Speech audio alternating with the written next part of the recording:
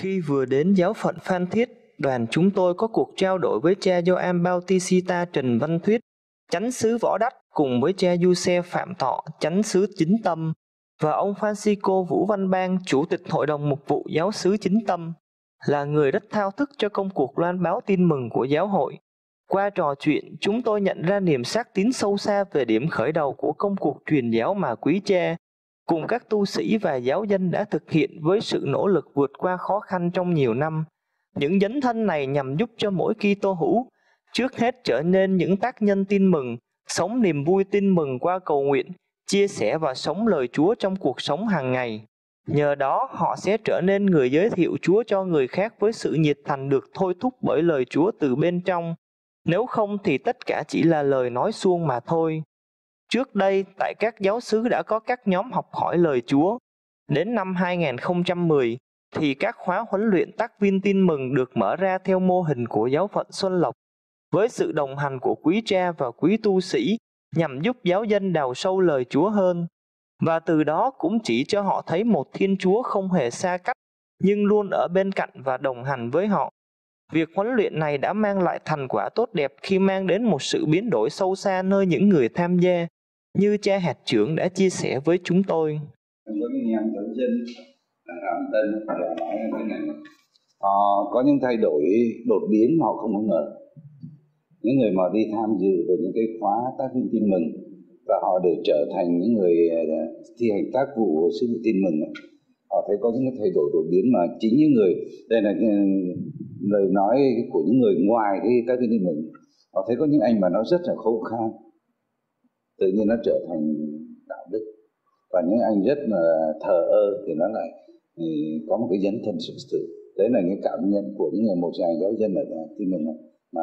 của giáo sư Hà Lâm Tân họ nói là họ có một sự thay đổi rõ rệt với những người đó. Và với những người họ tiếp xúc cũng có sự thay đổi. Và cái điều này, những cái, đây là những nhân chứng cụ thể mà tôi thấy rõ là ở dưới Hà Lâm Tân khi áp dụng cho các anh chị em dân tộc thiểu số và kể cả nơi giới thiếu niên thì quý cha cũng nhận thấy lời Chúa tác động cách sâu sắc trên đời sống đạo và đời sống thường ngày của họ. Cha sở giáo sứ chính tâm tiếp tục chia sẻ như sau. À, trên xứ ờ, tôi thì ờ, à, có một thôn dân tộc.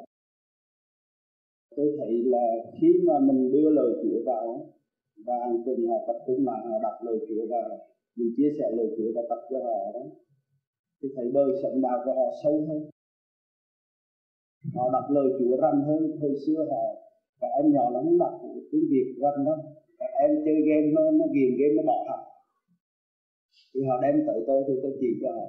Tôi dân dân Chúa, tôi cầu nguyện cho họ rồi. Xong rồi tôi về nhà, tôi biểu cha mẹ phải đọc kinh thánh, phải mời Chúa đến trong gia đình, phải dân dân Chúa ai cũng có thể dân dân chúng ta, nhưng mà Chúa ra nói trong kinh thánh ờ, các con dân dân ta xin bất tử gì đó ba. Thì tôi biết cha mẹ phải dân dân Chúa cầu nguyện. Và tôi thấy thành công, nhiều em nó mới tập lại, nó học. Nó còn điên loạn nữa, nó còn say game nữa. Muốn loan báo tin mừng thì cần phải để cho lời Chúa đi vào trong chính mình trước đã. Đó là lời có khả năng đem lại niềm vui và làm cho niềm vui ấy tỏ lộ ra bên ngoài bằng cuộc sống của chúng ta.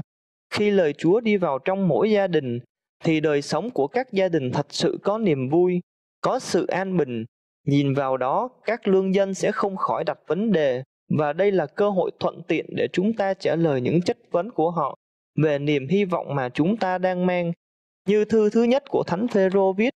hãy luôn sẵn sàng trả lời cho bất cứ ai chất vấn về niềm hy vọng của anh em.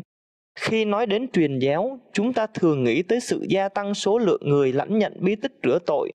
Điều này có thể khiến chúng ta chỉ cố làm sao cho người khác chấp nhận bí tích rửa tội bằng nhiều cách thức nhưng có khi lại là những cách không thích hợp cho lắm. Chia sẻ với chúng tôi về truyền giáo, cha Phêrô Nguyễn Thiên Cung, giám đốc chủng viện Thánh Nicola Phan Thiết đã nói lên bản chất của sứ mạng đó như sau. Tổng giám mục Bruno Forte ở ờ, trong cái cuốn sách ờ, Giêsu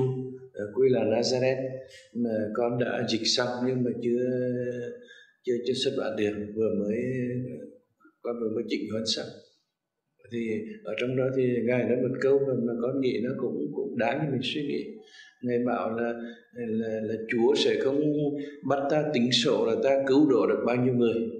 mà Chúa chỉ bắt ta tính sổ ta rao giảng tin mừng được cho bao nhiêu người bởi vì thực sự cái cái sứ mạng của giáo huấn và là cứu độ người ta mà Chúa Giêsu đã cứu độ một lần rồi và chỉ một lần thôi là đủ trong thực tế nhờ học hỏi chia sẻ và sống lời Chúa các anh chị em giáo dân ở đây đang góp phần của mình cho việc loan báo tin mừng cách tích cực bằng chính đời sống theo tinh thần tin mừng mà họ đã được thấm nhập. Như lời ông Francisco Vũ Văn Bang, Chủ tịch Hội đồng Mục vụ Giáo sứ Chính Tâm chia sẻ. Ngoài việc họ nghe lời Chúa trên nhà thờ, thì người ta lại được nghe lời Chúa tận gia đình mình. Thì người ta cũng có nhiều cái người ta nhấn được lời Chúa và và trước hết thì chúng con thấy được là cái sự biến đổi của từng người. Ờ, à, nghe đời sống người công giáo trong trong địa bàn giáo xứ nó tốt hơn cái các cái tệ nạn xã hội nó giảm đi đáng kể đáng kể thật sự đáng kể nhất là các cái tình trạng ờ, bất hòa trong gia đình các cái tệ nạn khác nó giảm đáng kể à, rồi nhờ như thế thì nhiều khi người ta chưa cần uh, trở thành những tác viên ra trên đâu thì người, người dân dân ở hàng xóm láng giềng họ nhìn thấy cái sự tiến độ đó thì họ cũng có những cái tiến đổi theo và họ cũng cảm thấy họ yêu mến.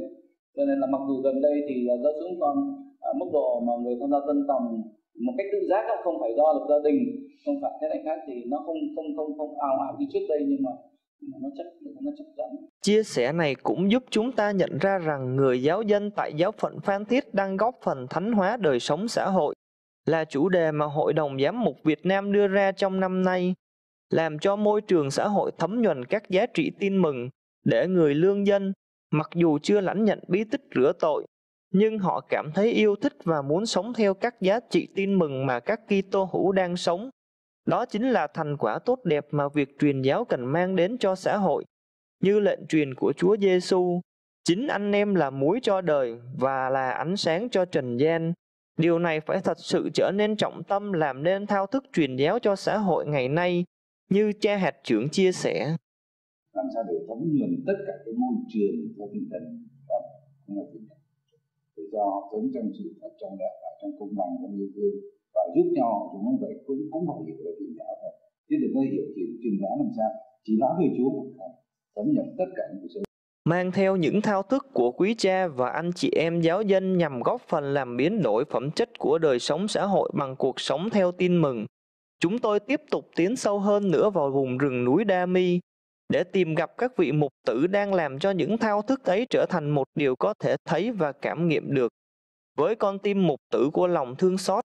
các ngài đã chấp nhận dấn thân để xây dựng các cộng đoàn mới, khởi đi từ con số 0 nhằm mang các giá trị Kitô giáo lên núi cao để thánh hóa một xã hội khá phức tạp nơi đây.